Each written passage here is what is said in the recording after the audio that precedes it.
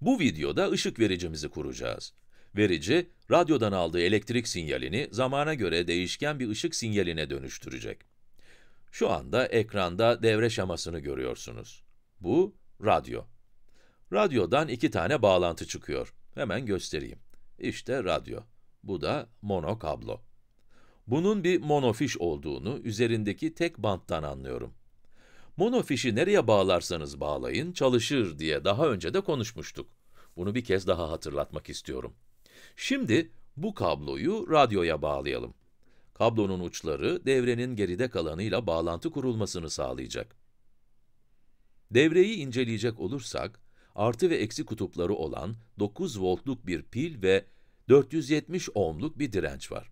Eğer 470 ohmluk direnç devrede olmazsa, 9 voltluk pili özünde ışık saçan bir diyot olan led'e bağladığımda, iki kutbu olan led hemen yanar. Dirence ihtiyacımızın olmasının sebebi işte bu. 9 voltluk pili buraya cırt cırtlı bir bant aracılığıyla sabitledim. Pili tutan mekanizmadaki renklere dikkat etmenizi istiyorum. Pilin artı kutbu devrenin kırmızı kablolarına bağlanıyor.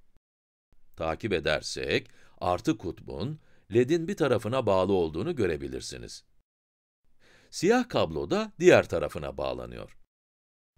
Anahtarımız, yani ışığı açma kapama düğmemiz için, buradaki bükülmüş ataşlara bağladığım bir krokodil pens kullanıyorum.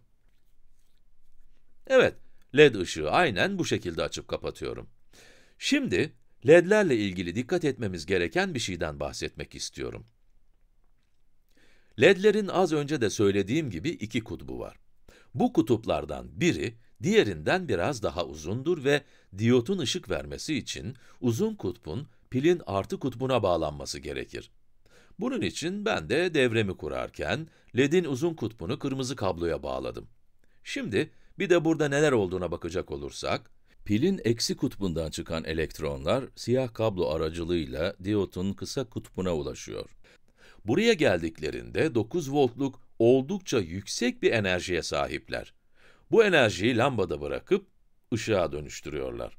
Ve ardından burada enerjisini bırakan düşük enerjili elektronlar kırmızı kabloyu takip ederek pile geri dönüyor.